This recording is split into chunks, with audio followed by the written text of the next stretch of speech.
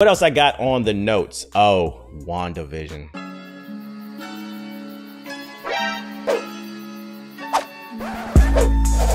What's going on, beautiful people? The Black Hokage here, aka TBH. And to be honest, a new podcast is out, and I talk about WandaVision, my first impressions on it. Before we get into that, friendly reminder that I am giving away a free Xbox Series X. And if you want a free next gen console, yes, Microsoft's 4K capable, Cuphead running at 120 frames console hit that link in the description box below, pause this video, it doesn't take but a minute to sign up for the giveaway, and then come back and watch the video.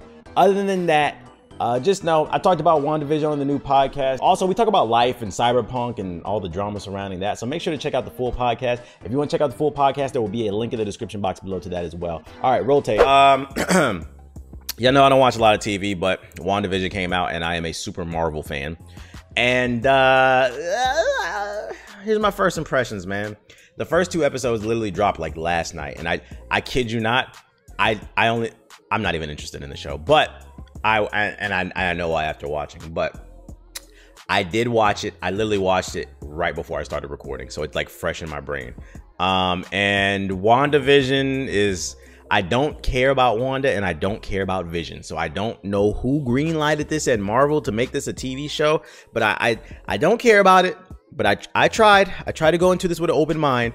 But based off the first two two episodes that I watched, first impressions, the only thing that kept ringing in my head is that that Charlemagne the God meme, and I posted it on Twitter. Nah, this ain't it, man. So basically, something's going on with Wanda, and she created this whole fantasy in her mind where she's living in the 1950s with Vision as a, with his husband, and he goes to work and she's at home like being a housewife. I swear to God, the best way to describe this show is I Love Lucy with superpowers. I was like, are you fucking kidding me? I was like, what is this show? And they are alluding to that's not all it is. That's just the first two episodes. I don't want to get it twisted. I don't want anybody thinking I'm stupid. I was paying attention. They are alluding to the fact that there is something sinister or something else going on behind the scenes because like she's breaking the fourth wall at certain points or um like at the end of the first episode they I don't want to spoil it, but they showed something and then it, you can tell there's something dubious going on behind the scenes not as all it seems and, and, and, at the end of the day it's all in her head it's all like an imagination so maybe it's I think somebody had told me on Twitter that the show's supposed to be a slow burner. That's what the director said. But I I didn't know it was gonna be this slow. Like, it, bro, the first two episodes, I swear to God, the first episode is about Vision goes to work. He goes to work, and then there's like a toaster commercial. And then the second episode, and then like, oh, we love each other. And then the second episode is literally about Wanda and um, the Vision are trying to fit in with the neighborhood, and they throw a magic show. I swear to God, it's some it's it's literally and the show is in total black and white. I'm like, bruh, um, I don't know, bro. This ain't this this ain't it. And to make matters worse, the shit is not accurate, right? Fucking what fantasy did Wanda create? Because in this fantasy that she's in, that she's living in the 1950s and they're just trying to fit in, um, there's a black family there. There's like a black dude there, and like he's hanging out with like all the white families and shit. I think there's like a Hispanic dude too. And I'm like, bro, if this was the 50s, he would have been called. And excuse my language for people listen. He would have been called the N word with the hard R. I ain't gonna say it. I'm corporate Hokage now. I'm not gonna say it, y'all. But y'all know what I'm talking about. Ninja. with the hard R.